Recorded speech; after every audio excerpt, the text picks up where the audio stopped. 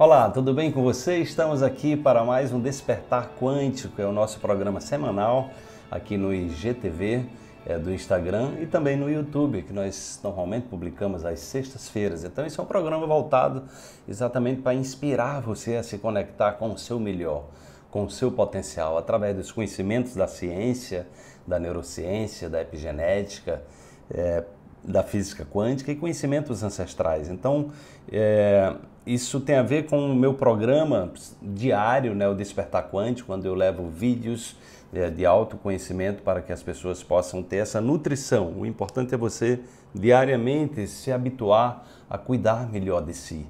Então, o exercício do cuidado, às vezes as pessoas se preocupam mais em cuidar dos outros, mas elas não sabem cuidar de si ainda, elas não investem no cuidado que precisam ter na sua alimentação, é, ou seja, com o seu corpo, é, com os seus pensamentos, com as suas emoções. Então, o objetivo do despertar é trazer para você motivações diárias no intuito de que você possa conectar-se ao seu melhor e você também tem estratégias lúcidas, estratégias eficazes para lidar é, nos momentos de dificuldade, nos momentos que você às vezes está se sabotando, às vezes você está procrastinando, às vezes você está agindo contra você mesmo. Vamos então para a reflexão de hoje. Quando alguém brilhar próximo a você, aproveite e se inspire para brilhar também. Ninguém é capaz de ofuscar o seu brilho a não ser você mesmo. Reluza-se. Então, uma das coisas que eu procuro trazer, tra...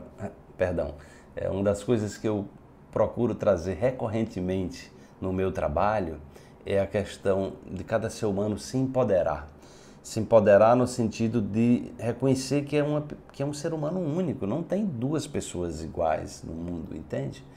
E que existe hoje catalogadas entre 11 e 12 tipos de inteligências.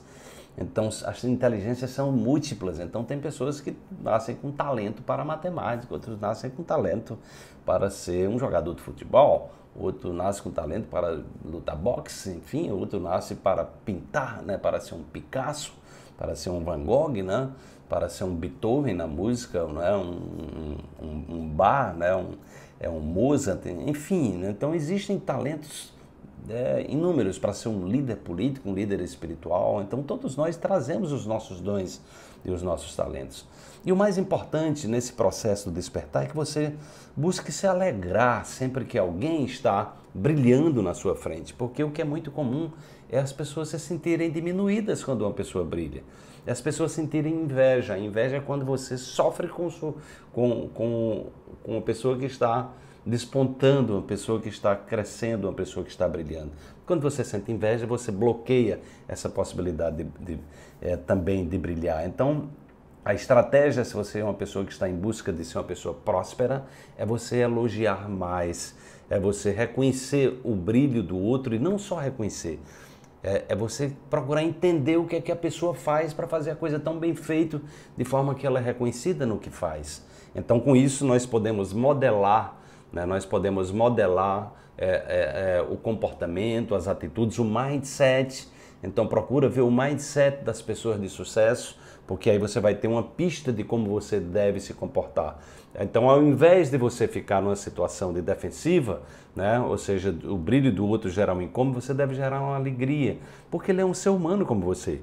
Ele encontrou algo que tenha uma afinidade com ele. Não é obrigado que você brilhe naquilo que ele está fazendo, mas claro, se você tiver uma aptidão para aquilo, você pode brilhar também, pode aprender com a pessoa.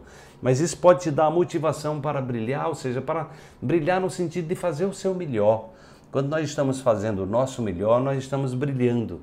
Né? Quando nós estamos fazendo algo que nós amamos fazer, quando nós estamos eh, fazendo algo é, que nos motiva um propósito maior de contribuir para, primeiro, a nossa transformação e com um mundo melhor, então nós estamos brilhando. Então, brilhar é uma coisa simples, é uma coisa natural. Às vezes, o que, é que dificulta o brilho é a pessoa está focada no negativo, é a pessoa está focada na reclamação, é a pessoa está é, focada na vitimização, entende? Então, é, de repente, ela está tão presa a padrões de negatividade que quando vê uma pessoa é, pulsando no campo da positividade, isso gera um incômodo. Então procure nesse momento olhar para você e dizer, mas por que, que eu estou sentindo isso? Por que, que eu não estou feliz? Por que, que eu não estou alegre? Por que, que eu não estou voltado para o aprendizado, para o entendimento, né, para é, exatamente entender né, o, por que, que essa pessoa se comporta assim?